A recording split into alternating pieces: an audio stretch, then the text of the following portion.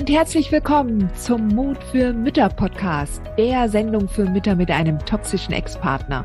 Ich bin Heidi Duda, Buchautorin, Coach und Gründerin von Midlife Boom. Ich zeige dir Wege auf, wie du dem Gefühl der Hilflosigkeit im Alltag oder auch im Familiengericht Lebewohl sagen kannst und endlich wieder in deine Stärke kommst, damit du zum Leuchtturm für dein Kind wirst.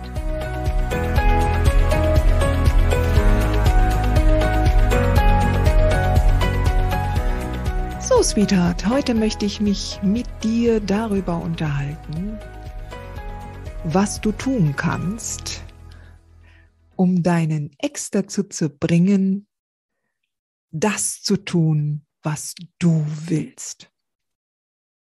Hast du dir das auch schon mal gewünscht? Stehst du öfters mal fassungslos da und denkst dir, wie kann er das nur tun? Das sagt einem doch der normale Menschenverstand, dass er das so nicht machen kann. Du glaubst nicht, wie viele Anfragen ich genau in diese Richtung immer bekomme. Ja, oder wenn ich Posts lese äh, in der starken Müttergruppe auf Facebook oder auch im, im Club der mutigen Mütter. Immer wieder diese Frage. Sag mir, was ich tun soll. Ich mache es, damit er endlich das tut, was, was das Richtige für unser Kind ist. Jetzt ist das allerdings ein ziemlich großes Ansinnen und ich möchte den heutigen Podcast dazu verwenden, um dir so den ein oder anderen Aspekt dazu nochmal näher zu bringen.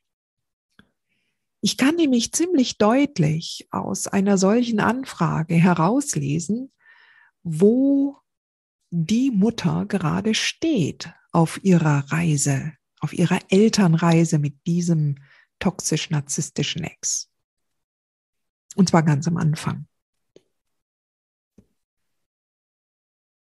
Am Anfang stehen wir da, sehen die ganzen Fakten um uns herum sehen, was es heißt, gemeinsames Sorgerecht. Wir sehen, dass der Vater Umgang gewährt bekommt.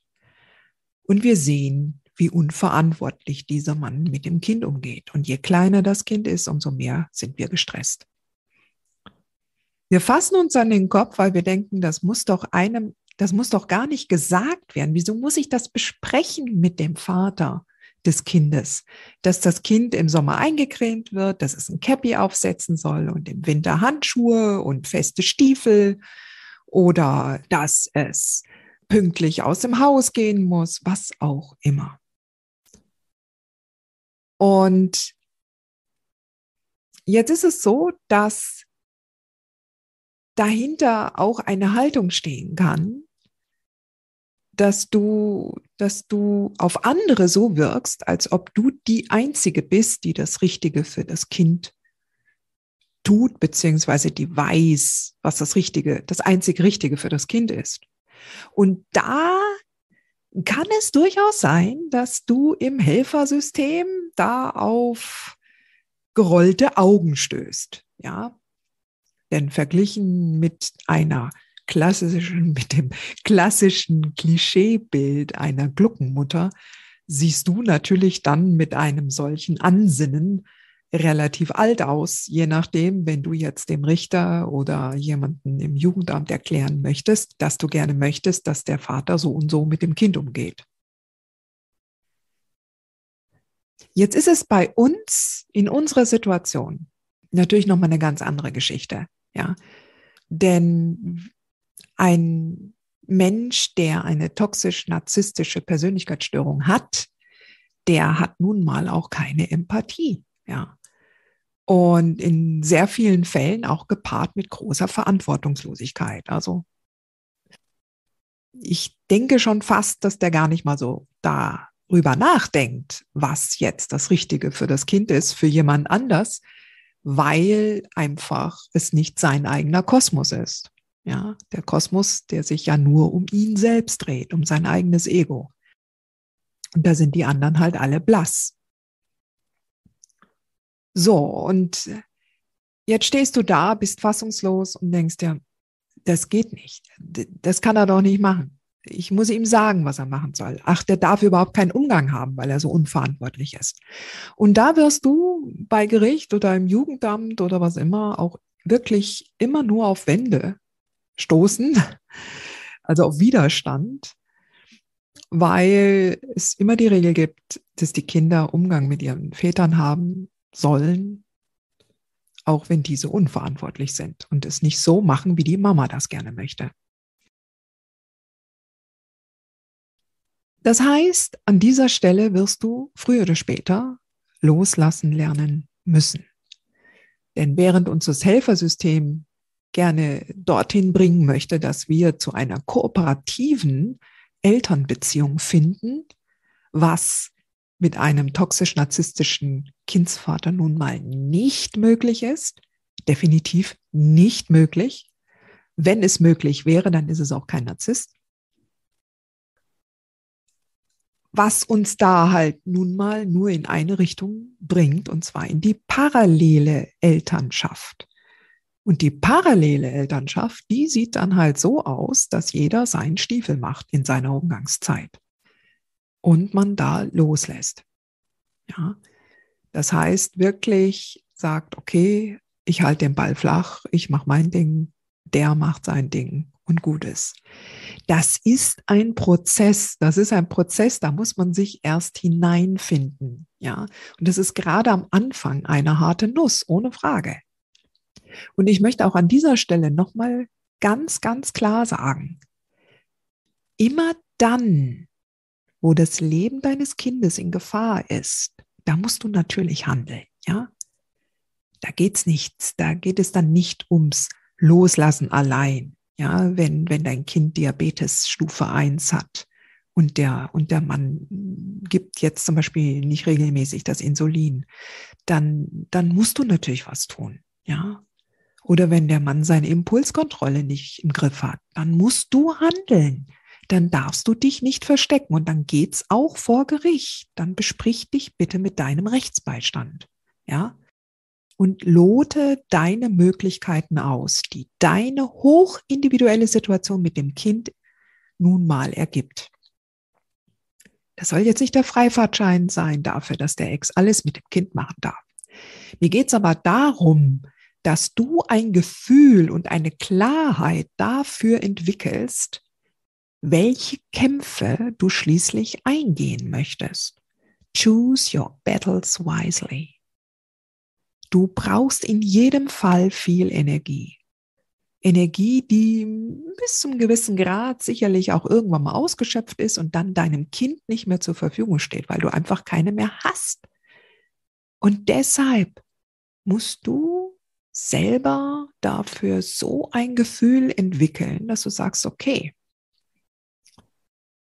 in diesem Fall packe ich meinen Mut zusammen, sammel mich, bespreche mich mit meinem Anwalt und entscheide dann, was der bestmögliche Weg ist. Vielleicht hast du ja sogar dann dadurch auch die Chance auf das alleinige Sorgerecht.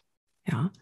Oder zumindest auf eine Teilsorge, vielleicht die medizinische Teilsorge, dass du die übertragen bekommst und er nicht mehr dazu gefragt wird. Aber selbst dann, selbst dann, ja, selbst dann bleiben immer Bereiche offen, in denen dein Ex nicht das tut, was er tun sollte.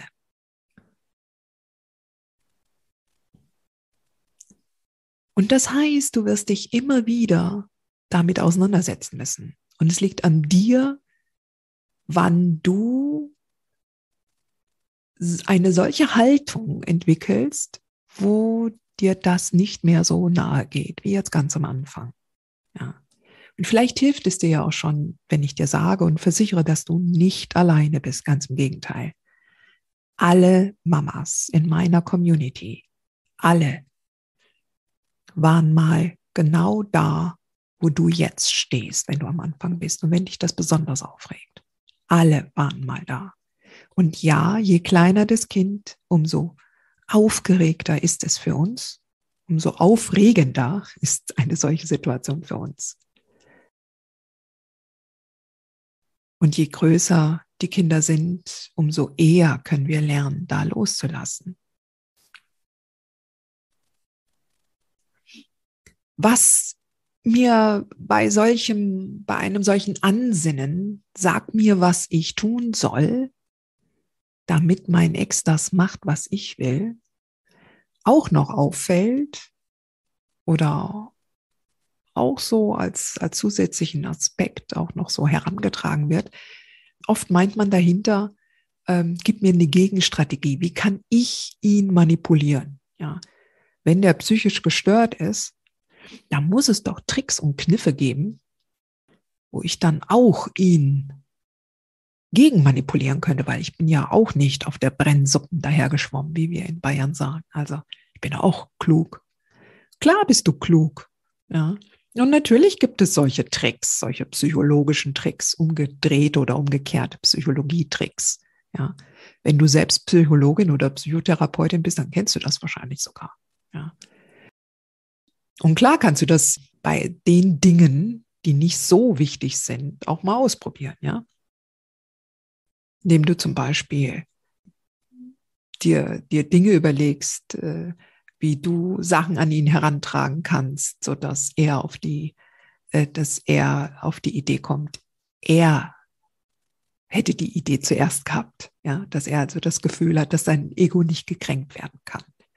Oder wenn, wenn er alles immer daran tut, äh, äh, Hauptsache, er macht das Gegenteil von dem, was du willst, dann könntest du ja zum Beispiel auch sagen, du willst nicht, dass dein Kind geimpft wird und dann ist es vielleicht sogar möglich, dass er dann darauf besteht. Das sind so Sachen, weißt du, man nennt das umgekehrte oder umgedrehte Psychologie, aber ich nenne es schon auch Manipulation.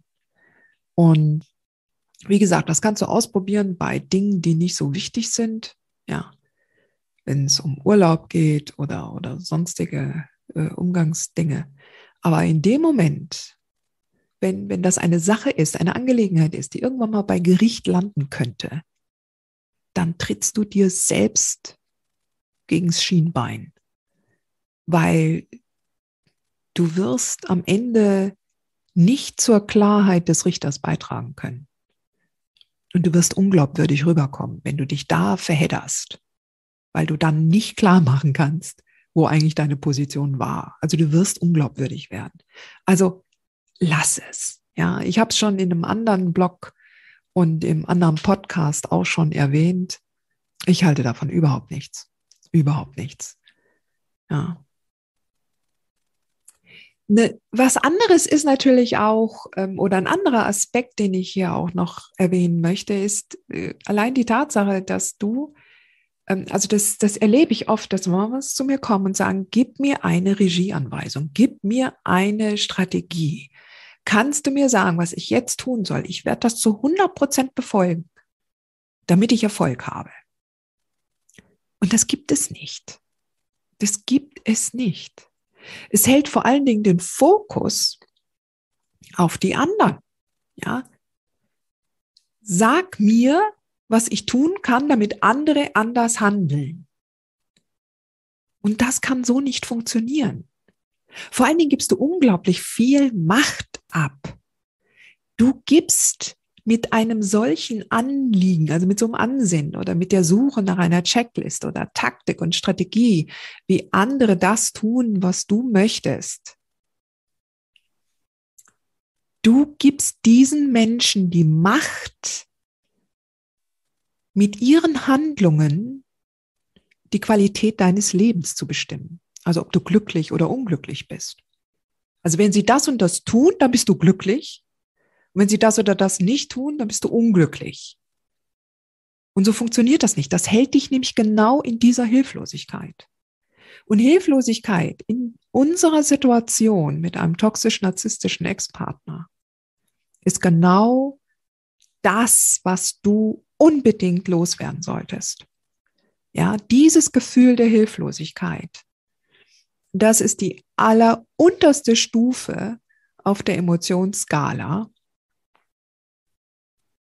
und die ist genau auf der Gegenseite zu einem glücklichen, zufriedenen, schönen, wunderbaren Leben. Ja. Und der erste Schritt aus dem Gefühl der Hilflosigkeit herauszukommen, ist es, selber sich darüber klar zu werden, dass man nun mal keine Kontrolle hat über die Handlung von anderen Menschen. Egal jetzt, ob es der Ex ist. Ja, der ist halt derjenige, der so ganz im Vordergrund steht, weil er so ganz präsent ist in unserem Leben durch das Kind. Aber es gibt ja auch viele andere Menschen, die uns in die Suppe spucken können. Und wenn du das verinnerlicht hast, dass du keinerlei Kontrolle hast über andere Menschen. Und du denkst jetzt vielleicht, ja natürlich, Heidi, was erzählst du mir? Nein, ich sag's, bist, wenn du das wirklich im Innern begriffen hast, wenn du, wenn das wirklich sacken konnte du, und du sagst, ich kann wirklich niemanden anders kontrollieren. Und wir sind alle gut im Kontrollieren und im Planen und im Organisieren, wir Frauen. Ja. Aber es gibt bestimmte Faktoren, die können wir nicht kontrollieren. Und das sind die Handlung und vor allen Dingen das Denken von anderen Menschen. Ja. Wenn du das begriffen hast, dann hast du einen wesentlichen Meilenstein schon erreicht in deinem Leben. Auf deiner Reise mit diesem Mann. Und zwar Richtung Souveränität und Gelassenheit und Klarheit. Wenn ich mir jetzt Mütter anschaue, die zum Beispiel im Club der mutigen Mütter sind, die schon weiter sind, woran man erkennen kann, inwiefern sie schon die Kontrolle da losgelassen haben. Die haben tatsächlich, die nehmen solche, die, natürlich kommt der hin und wieder auch so ein Gedanke hoch. Wie kann er nur? Ja, was hat er da jetzt wieder gemacht? Aber das sind dann Gedanken, die ziehen relativ schnell wieder vor, vorbei, weil sie sich dann auch sagen, so ist er jetzt halt. Ich kann da nichts tun, also konzentriere ich mich auf mich. Und wenn du nämlich dann verstanden hast, dass wenn du einerseits die Kontrolle nicht über die anderen hast, dann begreifst du, die einzige Kontrolle, die du tatsächlich hast, ist über dich selbst, über deine Gedanken, über deine Denkweise, über deine innersten Glaubenssätze, ja, über deine Überzeugungen. Und genau da setze ich an. Genau da fange ich an.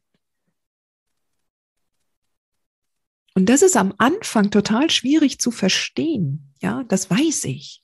Es ist schwierig zu verstehen, was deine Gedanken und Überzeugungen damit zu tun haben, was der Ex auf der anderen Seite für Mätzchen anstellt. Und gerade mit eurem Kind. Und gerade wenn du auch die Verantwortung sehr stark fühlst.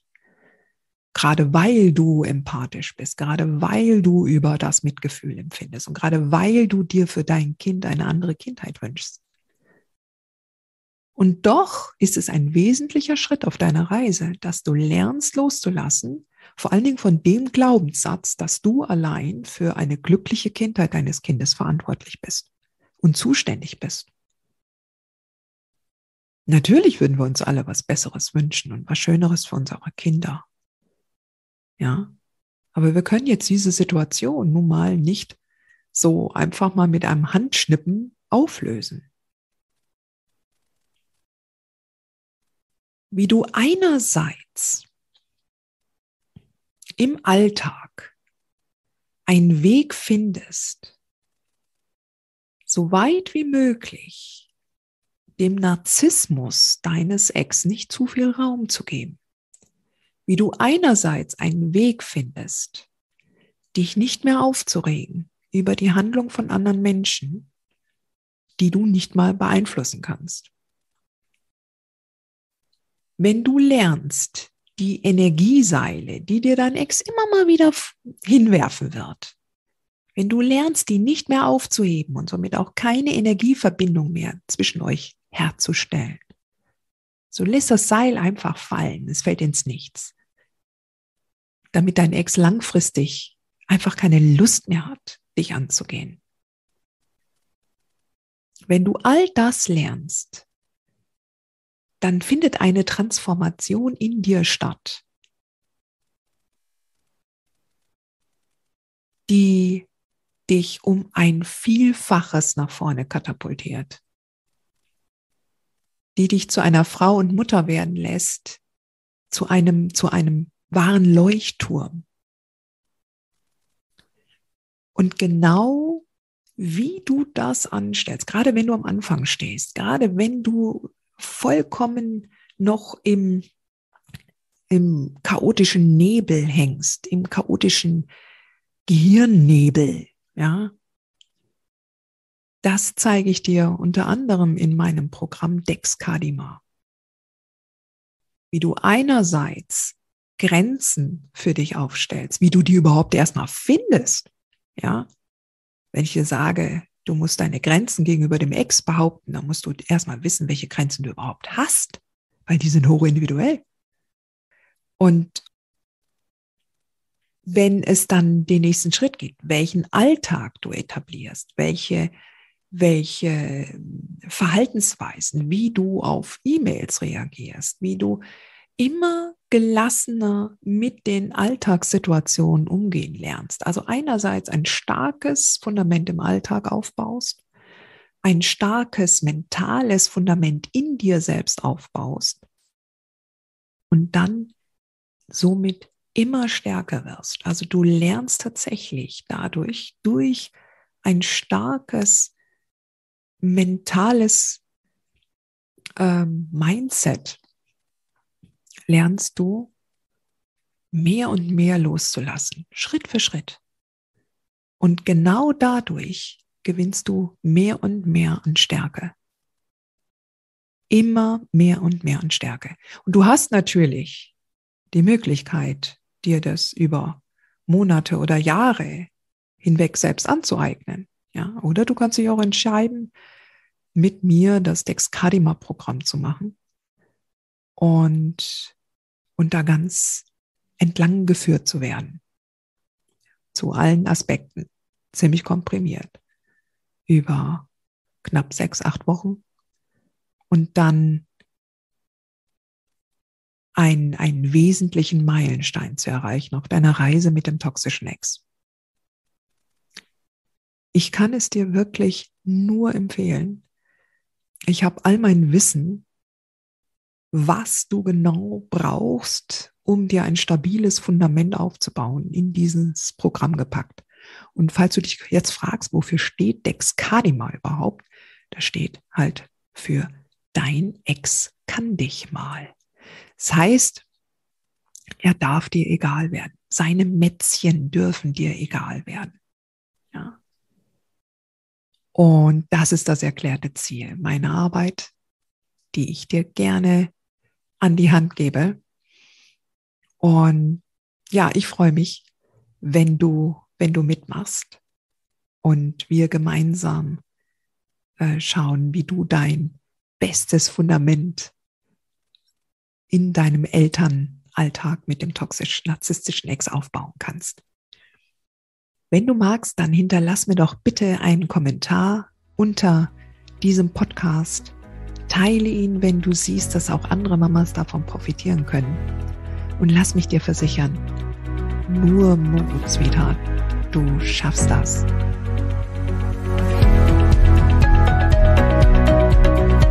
Hat dir diese Folge gefallen?